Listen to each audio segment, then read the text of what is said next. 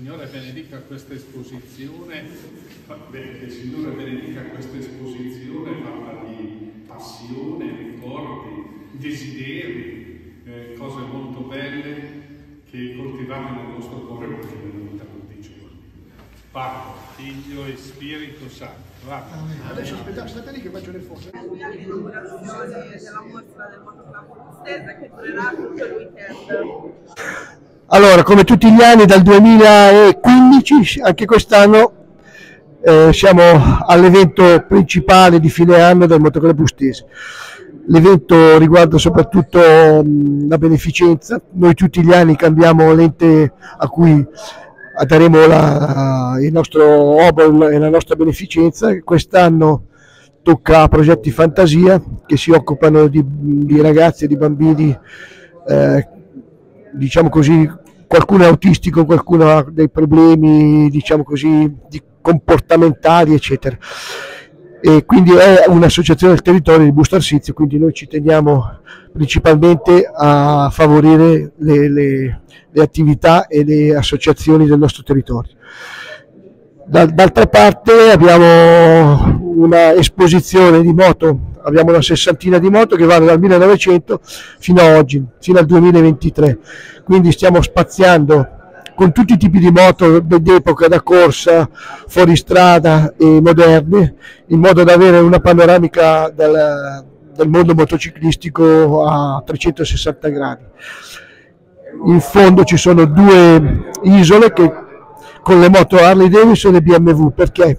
La BMW compie 100 anni quest'anno e la Harley Davidson ne compie 120 quindi ogni anno noi cerchiamo di mm, celebrare una, un evento e comunque un compleanno di qualche marca di moto voglio innanzitutto ringraziare eh, i concessionari che sono intervenuti portando le loro moto.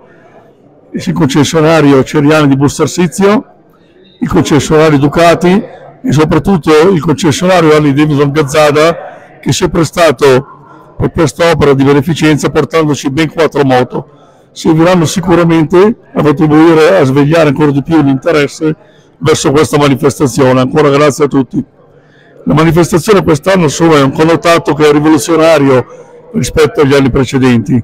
Infatti, oltre a portare le moto con scopo tematico, sono stati invitati tutti i soci a portare le proprie moto ed è stato un grande successo abbiamo rappresentanza di moto che va da inizio Novecento fino al 2023, con moto di carattere iconico o delle instant classic.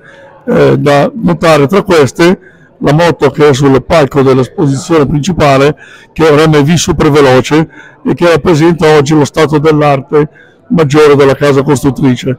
Dell'instant classic come la Ducati Super Sport Argento, con la quale è stato vinto eh, state vinte diverse gare e in generale tutte le moto dei nostri soci che con tanta passione le hanno restaurate o conservate negli anni.